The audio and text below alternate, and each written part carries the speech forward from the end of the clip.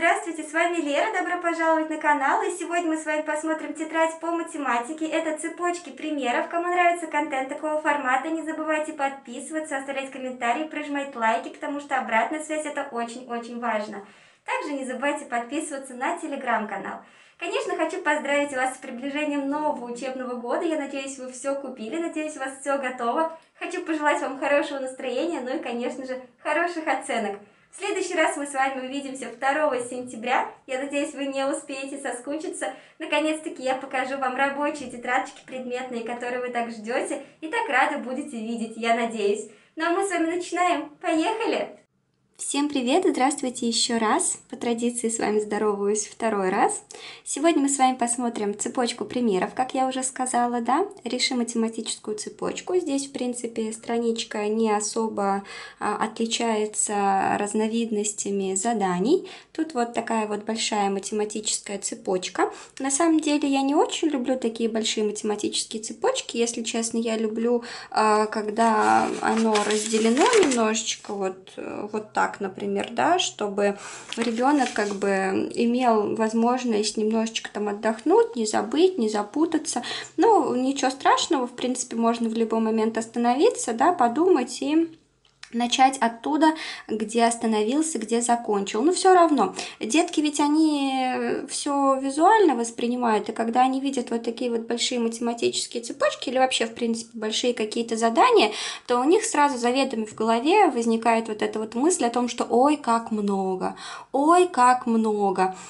Как по мне, так лучше, вот если какое-то большое задание, да, то их лучше разбивать на несколько. Ну, это лично мое мнение, да, из моего наблюдения в работе с детьми. Тут нас встречает вот такой вот енотик, если хотите, можете придумать ему имя. Кстати, что я подумала? вот эти вот э, маленькие картиночки, они ведь могут здесь быть еще и для того, чтобы устраивать такую небольшую паузу, небольшую переменку, да, из-за того, что можно отдохнуть, мозг, чтобы немножечко отдохнул, да, расслабился, можно взять карандашки и раскрасить. Это как смена деятельности. Детки, они очень быстро устают, дети, они, в принципе, очень быстро привыкают к любому виду деятельности, поэтому немножко видишь, что устал ребенок, раз, раскрасил хвост, потом тын-тын-тын, немножечко устал, видишь, раз, раскрасил мячик. То есть тут э, в этом плане дети, они быстро устают и перекидываются, с, с, перекидывают свое внимание очень, знаете, так легко и быстро. Это вот тоже из практики работы с детьми когда, знаете, их на 1 сентября там или в начале спрашиваешь, ну вот с родителями собираешься, да, они говорят, Лера Николаевна, что купить, там игры какие-то, еще что-то. Ну давайте с детьми посовещаемся, с детьми совещаемся, что вам надо, это надо, это надо, да, да, нам это надо, нам это надо. Э, два-три дня нам это уже не надо, мы все уже разорвали, мы все уже покидали, все потеряли, нам уже не интересно. Или, например, кто будет на Новый год там, да, вырезать снежинки, кто будет вырезать снежинки? я, я буду, я буду. Две-три минуты, все уже. Лер Николаевна, я не хочу, можно я не буду? Господи, да, конечно, можно, ради бога, никто никого не заставляет. Но вот это именно из разряда, что им вроде бы как, вот, да, хочется, хочется, а через три минуты они уже, им это надоедает. Ну, наверное, кого есть детки или кто работает учителем, вы тоже это, конечно же, замечали. Ну, вот это к тому, что можно тут вот пораскрашивать, да, если надоест решать. Но тут, в принципе, Работа такая не на весь урок, да, не на 45 минут, не на 40, иногда и час занимаемся, ну, понятно, что с пробелами, да, с маленькими переменками. И также здесь у нас, а, значит, догадайся, какие числа нужно вставить в окошке. Вот, ну, мы вернемся к этому заданию еще, да. Сначала давайте посмотрим, все ли у нас сделано без ошибок. А, Ребенок уже решает это самостоятельно, то есть а, особо объяснять, как технологию выполнения задания ему не нужно. То есть он уже прекрасно знает, это не первая его математическая цепочка. Да? А математические цепочки, между прочим, очень ему нравятся. Конечно же, работаем мы с черновиком, что-то стараемся решить в уме. Да? Вот если там какие-то элементарные примеры, то я прям говорю, нет, дорогой, давай с тобой подумаем в уме. Да? Все-таки в уме нужно уметь э, считать, вычислять. Это очень полезный навык. Но пока дети умеют считать в уме только деньги. Да? Если мы не умеем решать математические примеры, то деньги считать дети по-любому умеют все абсолютно. Итак, начинаем мы с 17. 17 прибавить плюс 19, да? Что-то я как-то по-нерусски сказала. 17 прибавить плюс 19. 17 плюс 19, это у нас получится 36, да, 7 плюс 9 будет 16, 6 пишем 1, запоминаем 1, плюс 1 будет 3, да, ой, 2, да еще 1, 3, 36, правильно. Дальше у нас идет таблица умножения. 36 разделить на 4 получится 9, совершенно верно. Ну или 9 на 4, да, как угодно. 9 на 4 умножаешь, будет 36, все равно. Дальше у нас опять идет таблица умножения 9 на 7. Я уже говорила, что если ребенок не знает таблицу умножения на 9, то можно спросить его таблицу умножения у, по, по второму множителю. Да? Если он на первый множитель не знает, ну или на один множитель не знает, то на второй по-любому знает, если он меньше. Да? А, к 9 дети всегда, так знаете, скептически относятся к таблице, к таблице умножения на 9, им кажется, что она очень сложная. А вот на 7 по-любому многие знают, да, 9 на 7 или 7 на 9 будет 63. Дальше 63 минус 12, ну, 3 минус 2 будет 1, да, 6 минус 1 будет 5, 51. 51 плюс 3, это все в уме можно посчитать, будет 54. Дальше у нас опять таблица умножения. Что нужно умножить на 9, чтобы получилось 54? Ну, конечно же, 6, да? Итого, если 54 разделить на 9, то у нас получится 6. Вот она, да, шестерка. Угу. Дальше к 6 мы прибавляем 28. А, легче 28 прибавить к 6, нежели чем 6 к, 28, к 28. Потому что в голове мы всегда можем сложить это в столбик. Я не знаю, как э, вы визуализируете устный счет в своей голове я всегда складываю это в столбик. То есть, да, 8 э, плюс 6 будет у нас 14. 6 это 2 и 4. То есть 8 плюс 2 это у нас будет, 8 плюс 2 это у нас будет 10, еще 4, 14. 4 пишем, 1 запоминаем. И у нас остается двойка, да еще плюс 1 это будет тройка. Итого будет 34. Дальше 34 минус 6. Вычитать всегда сложнее, чем прибавлять. Это вы можете мне даже не рассказывать, не доказывать. Это я знаю тоже на личном опыте, что вычитать сложнее, чем прибавлять. 34 минус 6. Из 4 6 мы отнять не можем, мы занимаем. Да, у тройки получается 14. Минус 6 получается 8. И там у нас уже не 3, а 2. Итого получается 28. Да? Опять вернулись к 28. Видите, тут соприкасается все. Дальше таблицу умножения вспоминаем. Что мы должны умножить на 7, чтобы получилось 28? Ну, конечно же, 4. 4 на 7 – 28 или 7 на 4, как угодно. 28. Так, а тут мы записываем четверку. Опять таблицу умножения. 4 умножаем на 8, получается у нас 32. 32 плюс 13. Тоже все легко. 2 плюс 3 будет 5, и 1 плюс 3 будет 4. Итого 45. Вспоминаем таблицу умножения. Что мы должны умножить на 5, чтобы получилось 45? Ну, конечно же, 9, да? 9 умножить на 5 получается 45. Итого здесь будет 9, то есть 45 разделить на 5 будет 9. Дальше табличку умножения 9 умножить на 8 у нас получается 72. 72 минус 26 у нас получается 46. Из двух отнять 6 мы не можем, мы занимаем десяток у семерки. 12 минус 6 получается 6, а там у нас уже не 7, а 6. 6 минус 2 получается 4, итого 46.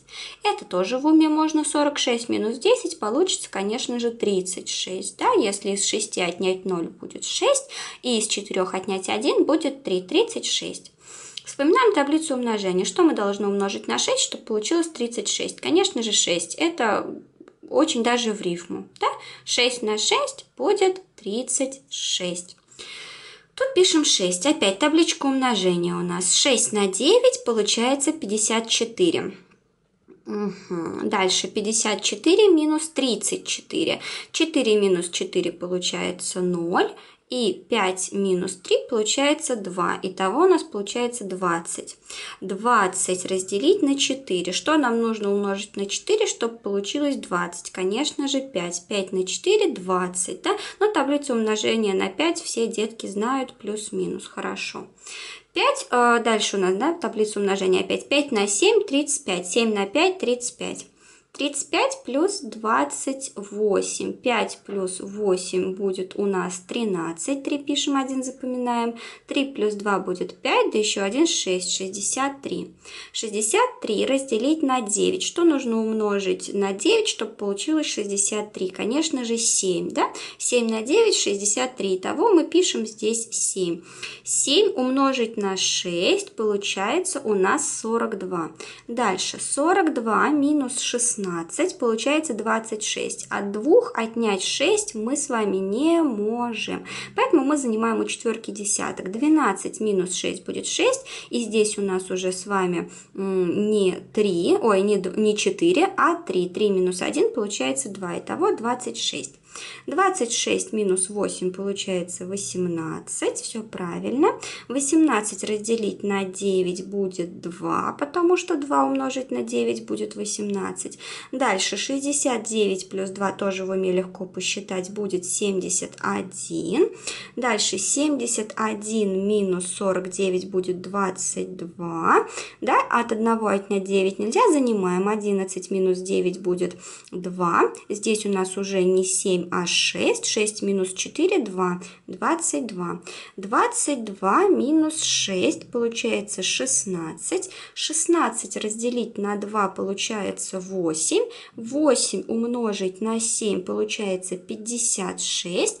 56 плюс 25 получается 81. А тут ребенок пишет 80. Значит, мы вот здесь зачеркиваем и давайте объясняться. 56 плюс 25. Ну, вы даже сами невооруженным глазом здесь можете увидеть. Да, что вы можете увидеть? Что 6 плюс 5, 10 никак не получится. То есть 0 у нас с вами здесь никак не получится. 6 плюс 5 будет 11. То есть мы 1 пишем, 1 запоминаем. 5 плюс 2 это будет 6, 7, да еще 1, 8. И вместо 80 должно получиться 81. Я боюсь представить, что здесь. Но здесь вроде бы дальше-то правильно идет. Тогда каким образом, каким, образ, каким образом он 80 разделил на 9, и у него получилось 9? Вот это вопрос еще. Знаете, 80 разделить на 9, там получится 8 целых фиг десятых, да, а вот если 81 разделить на 9, то получится 9. Я удивлена, как у него здесь 9 получилось, но может быть он помнил, знаете, ну как бы, может быть у него искажено, искажено, искажено понятие вот э, именно на 9, таблицу умножения, запоминания какое-то элементарное, ну, не знаю, почему получилось 9, но раз получилось 9, бог с ним, да. Дальше 9 умножаем на 5. Мы с вами 9 умножаем на 5, и получается 45. У него здесь получается 46, то есть 46 здесь неверно. У нас должно получиться 45. Опять дальше будет уже неверно. 45 плюс 27. Вот 45 плюс 27 должно получиться 72. У него получается 73. То есть тут тоже неверно верно. Каким образом он 73 э, разделил на 8 и у него получилось 9, Тут непонятно, да? Вот если 72 разделить э, на 8, то получится 9. А если разделить 73 на 8, то получится 9 целых, там тоже фиг десяток. Поэтому прямо это как-то как все удивительно у нас тут с вами, все удивительно. Ну, 9 получилось же, что ж, да? Получилось-то 9, по, по итогу-то как будто бы все правильно. Дальше к 9 прибавляем 83. 9 плюс 83 должно получиться 92, да? 92, все правильно. 92 минус 17 у нас получается 75. Да, все правильно, 75. И 75 минус 58 у нас получается 17. Да, все правильно. На самом деле не совсем я понимаю, каким образом вот э, получилось правильно, если по итогу было целых три ошибки. Но, видимо, каким-то образом каким-то образом, какими-то, я не знаю, с помощью какой-то невиданной э, силы извне, э, может быть, ему сообщали из космоса, может быть, э, еще где-то, ну вот получилось 17 в конце, получилось все верно, но у нас есть три ошибки. Никогда, если честно, такого не встречала, что по математической цепочке три ошибки, а в конце все равно получился верный результат. Ну, не знаю, не знаю, как-то это, знаете, сомнительный, сомнительный момент. Но у нас здесь есть три ошибки, 2, 3, то есть мы их никуда не вычеркнем. Хорошо, давайте едем дальше. Догадайся, какие числа нужно вставить в окошке. Вот у нас здесь даны окошки. Как вы можете понять, да, у нас здесь э, множитель один пропущен и, соответственно, произведение, да. Ну, логично, если рассуждать, да, а должно у нас здесь получиться в первом, значит, прямоугольнике у нас должно получиться 24. Опять вспоминаем таблицу умножения. А для того, чтобы у нас, а, нужно вспомнить, да, 24 разделить на 4 у нас сколько получится? 6. Значит, мы записываем 6, потому что 4 умножить на 6 получится именно 24, да. Конечно, здесь вы можете еще и прибавлять, но не думаю, что это будет правильно правильно. А, посмотрим дальше. 9 а, и 81 и 9 еще пропущено. Для того, чтобы узнать нам второй множитель, нам нужно произведение да, 81 разделить на 9. И получится 9, потому что 9 на 9 умножить получится 81. Дальше смотрим. 54 должно получиться. Первый множитель есть, второго множителя нет. Что а, мы здесь тоже должны сделать? Мы должны 54 разделить на 9, и того получится 6. 6, потому что 9 на 6 будет 54.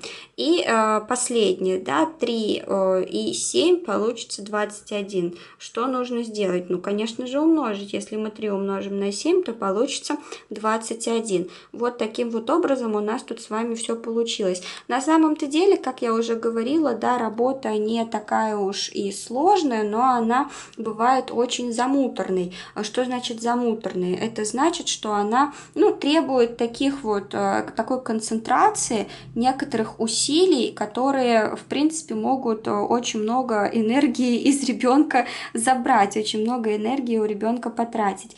То есть смотрите, сколько чисел, во-первых, нужно написать, в них не запутаться. Но как мы уже здесь поняли, да, что ребенок, он немножечко запутался. До сих пор, опять же, не понимаю, как э, допустить, допустить можно было ошибки в э, цепочке примеров, да, и по итогу получить все равно правильный ответ.